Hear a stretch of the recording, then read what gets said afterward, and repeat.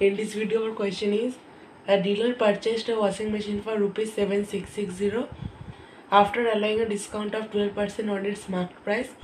He gains 10%. Find its marked price. So let's start. We will first take uh, MP as x. Let MP equals to x. Discount percentage equals to 12%.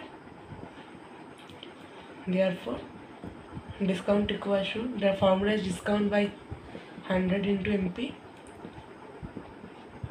equals to 12 by 100 into x. We cut 12 and 100 by 4 become 3 by 25 equals to 3x by 25. Now I find SP.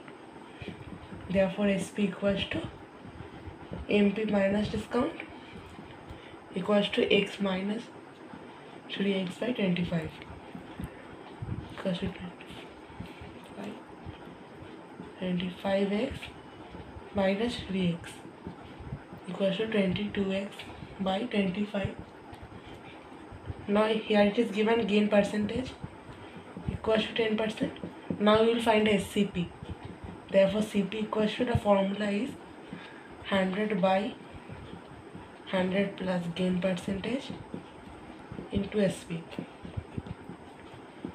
equals to 100 by 100 plus 10 into 22 x by 25 we cut 25 and 100 1 4 so it will become 4 by 110 into 22x now we will cut 4 and 110 by 2 become 2 by 55 now we will cut 22 and 55 by 11 so it become 2 by 5 so it will become 4x by 5 so the cp is 4x by 5 but in the question the cp is given.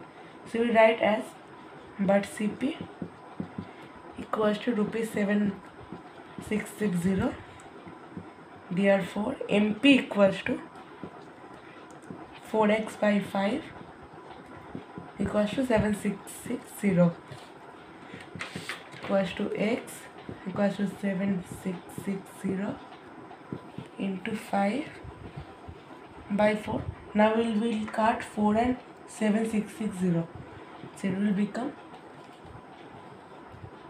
1915 so x equals to 9575 therefore mp equals to rupees 9575 so this is our final answer